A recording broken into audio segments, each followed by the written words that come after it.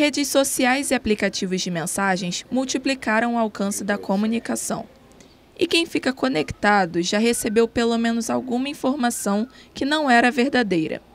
As chamadas fake news foram tema de uma palestra da 11ª semana de Ciências Sociais. O assunto ganhou visibilidade por causa do impacto em eleições recentes nos Estados Unidos, no Reino Unido e no Brasil. Eu acho que o WhatsApp, por exemplo, para além das fake news, teve um papel muito mais importante no sentido de mobilizar as emoções é, dos conservadores e das ideias liberais do que propriamente propagar é, mentira.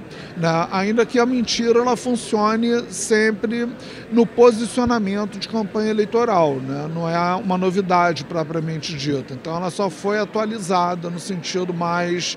É, da internet mesmo. Um estudo da Universidade de Oxford, este ano, revelou que as informações falsas geraram mais engajamento nas postagens do que posts de notícias da mídia tradicional. Olha, a política é um campo fértil para isso, né? Quer dizer, a, a, a, dissimulação, a mentira, a manipulação, ela sempre existiu dentro da política enquanto forma de, de enquanto uma instância fundamental da vida humana, né?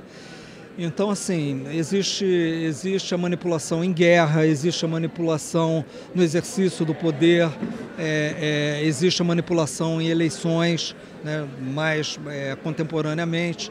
Então, assim, lidar com esse tipo de coisa é uma questão que sempre existiu dentro do, do, do, do âmbito da política, não é uma novidade. Em agosto, o Congresso Nacional derrubou o veto do presidente Jair Bolsonaro ao projeto de lei que torna crime denúncias caluniosas com finalidade eleitoral.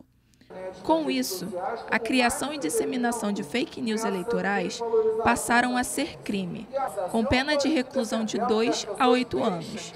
Contudo, há debates acerca da eficiência da medida. Não é que é, nunca, é, não é que pela primeira vez existam notícias falsas, né? elas existem há muito tempo.